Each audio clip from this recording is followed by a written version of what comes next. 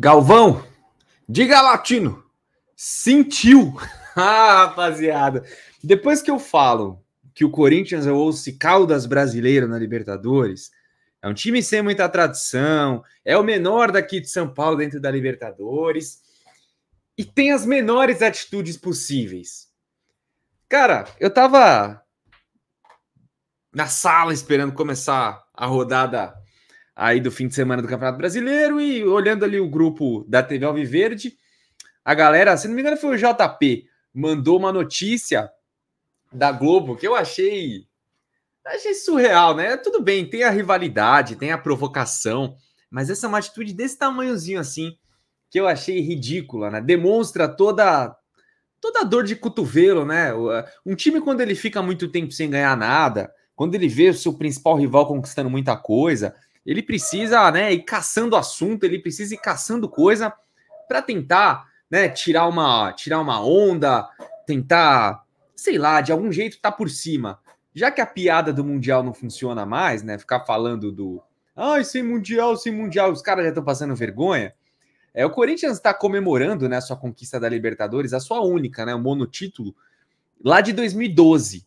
E aí eles fizeram camisa, fizeram aí uma série de, de, de coisas para lembrar a conquista. Até aí legal, faz parte.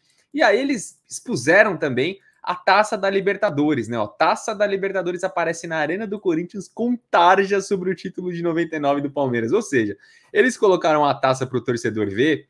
E aí aqui, né, que tem o símbolo do Palmeiras nessa região aqui, eles colocaram uma tarja preta.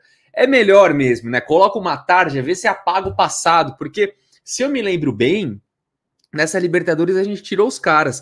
E se eu me lembro bem, na outra Libertadores a gente também tirou os caras, ou seja, eliminamos eles nas duas Libertadores e hoje nós temos três, enquanto eles pararam no tempo aí em 2012. Então, cara, é muito engraçado ver esse tipo de coisa. Demonstra o tamanhozinho que os nossos rivais estão adquirindo com o passar do tempo, né? O Palmeiras vai abrindo distância em relação a todo mundo. E os caras com essas atitudes patéticas. Mas é isso aí, cara. Legal pra caramba. Pintem lá a grama da Arena Quimicão de preto. Multa jogador que usa um detalhezinho na chuteira de verde. Coloca a tarde em cima do nome do Palmeiras. Tenta extinguir o máximo possível do verde da vida de vocês, porque o verde realmente incomoda. Quando vocês veem o verde, vocês não aguentam. Então, façam isso para vocês se sentirem melhores. Quem sabe, né? Ó, pintou a grama de preto, mutou o jogador que usou verde, colocou a tarja em cima do, do, do símbolo do Palmeiras. Porra, já aí três pontos, já passaram a gente, já são quatro Libertadores para vocês. Ó. Parabéns.